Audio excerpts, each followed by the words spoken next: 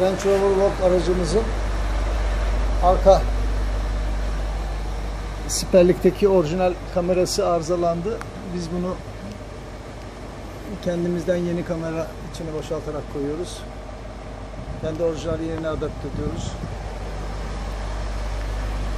Gayet güzel renkli geri görüntü alıyoruz kendi ekranından.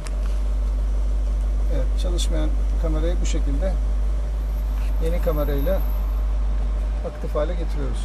Gayet güzel bir uygulama oldu. Sizden şu ok aracımıza geri görüş kamera uygulaması yaptık orijinal yerine. Bu tür uygulamaların iş yerimizde satış ve montajını yapıyoruz. Video altındaki iletişim bilgilerinden bizimle bağlantı kurabilirsiniz.